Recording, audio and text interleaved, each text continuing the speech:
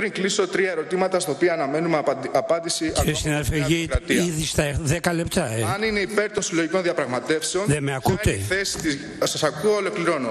Ποια είναι η θέση της για τις ομαδικές απολύσεις και αν αποδέχεται ότι δεν πρέπει να ληφθεί κανένα μέτρο μετά τη λήξη του προγράμματος.